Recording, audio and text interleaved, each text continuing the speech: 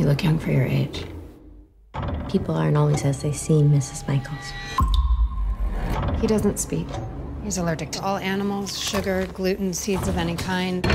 Just treat him like any other kid. You do a lot of babysitting? Sometimes. She's very, um, innocent. Most people are liars.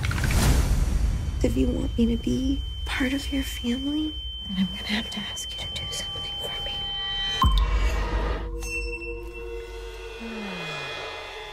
I think your son is really special. I'm glad you're here.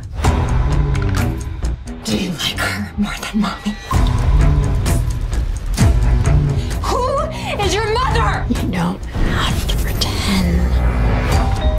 You have to be a good girl. I can do that. I want more from you. Family is the most important thing.